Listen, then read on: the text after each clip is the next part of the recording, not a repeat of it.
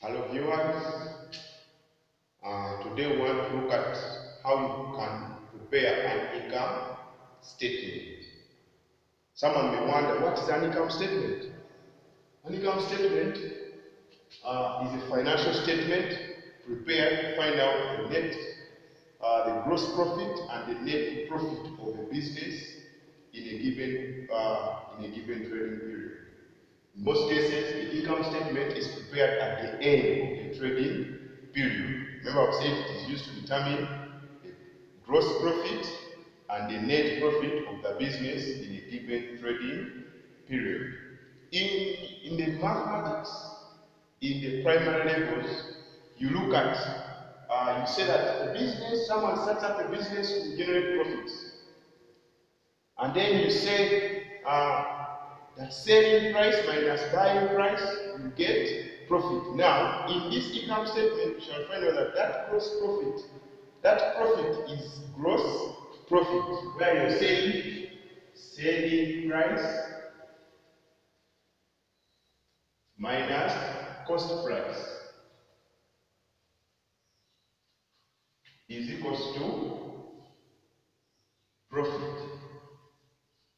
So we are saying that where we are going to, where you see selling price, we shall call it net sales.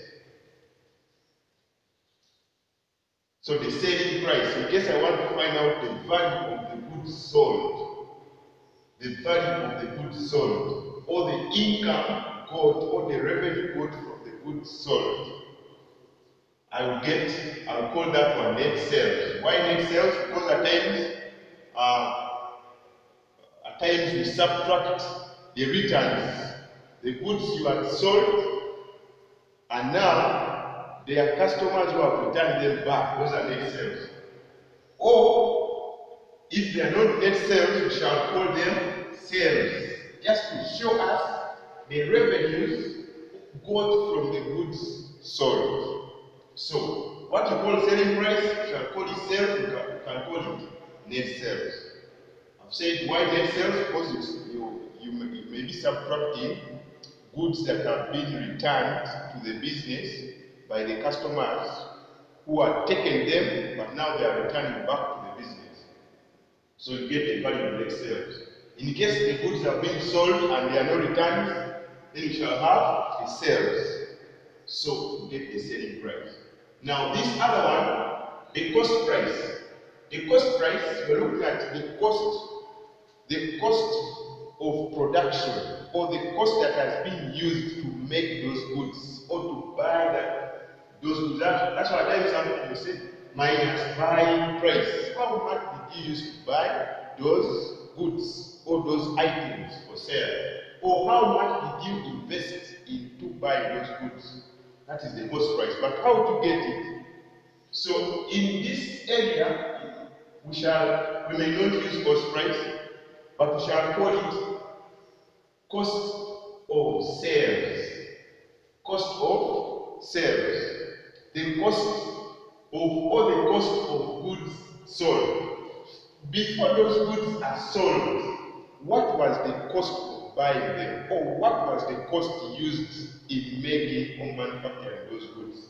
That's what we are referring to as cost of sales. So, someone may wonder, how do I get the cost of sales? Simply remember, I can track what the buying price, which we shall say the purchases, the cost of purchasing that item. Now, the purchases, we shall add the transport for transporting those goods to the business. Those are carriage inwards. Carriage inwards. They are added onto the purchases. In case you used someone to carry them on the head and was paid some money, you shall call that one wages. If it's not wages and salaries, you add these to the purchases. So you add wages. Then at times you may transport those goods, and then by the time they are delivered to the business, you find out that some of the goods are broken, some of the goods were not the ones ordered for, so you're forced to return them back. So we less, you less returns. We call it return outwards. Why return outwards? Because the goods are moving out of the business. So you subtract them from the value of the purchases after adding uh, carriage inwards. The answer that you get here is what we call net purchases. Net purchases. It is the value got after adding purchases plus carriage inwards less return outwards. It's not a must that they are going to give you carriage inwards, but in case they are give you add it on purchases. It's also not a must that will give you return outwards. You just need to know that in case I'm given carriage inwards, I'll add it to purchases. In case I'm given return outwards, I'll subtract it from purchases. Or after adding carried inwards, then you get the value of purchasing or the uh, in most cases at times I refer this as the cost of buying new stock, net purchases. So the cost of sales can also be net purchases if there, there is no opening stock or there is no closing stock. We shall be seeing those ones later on. But the first thing that we need to remember is that we have the selling value, which is the sales. We have the cost of sales, the money that was used to make that particular product, which we are referring to as cost of sales, or net purchases, where I get value for purchasing those goods, add the transport for those goods, then subtract the returns. If they are there, I'll get the total amount of money that I used to buy those particular goods. These are two items. So when you subtract sales minus cost, cost of sales, that's why you, you get the profit. Like I've said, this profit here is referred to as gross, gross profit. Gross profit. So we have two formats. We have the T format and the vertical format. So in case you're told to prepare, this information here is the one that is prepared in the trading account. But we are focusing on the income statement which combines the profit, the trading, profit and loss account drawn in one format. So what we want to see, how do you put this information uh, in the trading profit and loss account? So we shall write, you know, when you're told to prepare an income statement, the first identity is the business name. Maybe Sendmill Business. Sendmill Business. Then you write a document that you prepare income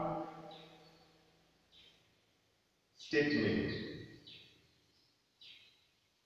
In most cases, you write those identities in the middle of your page that you prepare.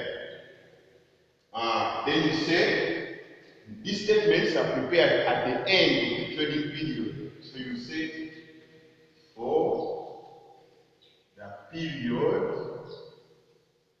ended, maybe specify for the period ended this date, for the period ended as at this so that is the, the third line. So you put in, you have the particulars, all the items, we have the amount, that's the first column, you indicate the units, then we have the amount, The second column indicate the units. And then the last column. So we have three columns for amounts. But remember indicate the units in each of the columns. So this is Uh, we have said we want to transfer this information into that. So we are subtracting selling price minus cost price. So we are going to start with the selling price. The selling price, I said we call it, uh, it could be sales, it could be net sales. But how do you get net sales? So you start with, if sales, if net sales is sales minus return inwards, then we are going to start with sales in the statement. So we say sales, and you indicate that the value in the second column. You raise, return inwards. Less return inwards. Then you draw that line. You don't put the negative symbol to show that you're subtracting. The line will tell us whether you're subtracting or you're adding. So you get the final figure. That final figure is what we call net sales. Net sales. In case the, the returning ones are not there, the value for sales will be put in the third column, direct, to represent the value for the goods, uh, to represent the income got from the goods sold for the revenue. But for now, since we, have, we can take it from the standard sometimes uh, businesses may have some customers who return back the goods. Then you subtract them from what? Uh, from the sales. So that's how you get net sales. Sales less returning ones, you get net sales. After that, we say this value we are looking for gross profit. So you subtract, uh, you subtract what we call the cost price, and now we have baptized it cost of sales. So we shall say less cost of sales. You underline it. Underline it because you do not have it. Otherwise, if you had it, you just put to the last column. So less cost of sales. How do you get cost of sales? Now, they are businesses. If a business is new, it is just beginning. You shall start with uh, getting purchases, add carrying ones, return, you get. Hmm? Uh, but if the business is, is has been operating and it has some stock that remained in the previous period of time, we shall add that cost of those stock onto this. So that, that stock that has remained is what we call opening stock. So we have opening stock. Opening stock is going to be added on the new stock, which is the net purchases, for us to be able to get the total cost for the goods available for sale, or the total cost for those goods that have to be sold if there is no closing stock. So we have opening stock. Uh, this opening stock is going to be transferred to the second column. Why second column? Because it is not is not cost of sales. Cost of sales is the one that is supposed to be transferred the third, the third column. And then why I'm it in the second column also is that I'm going to add I'm going to add net purchases. So that second column is going to help me to add net purchases onto opening stock. But remember, I don't have opening, uh, I don't have net purchases. So do you get net purchases? We go back, we say purchases, use the first column to add to get the value of net purchases. So purchases, those are two X's, add carried in add carried in ones, you get the value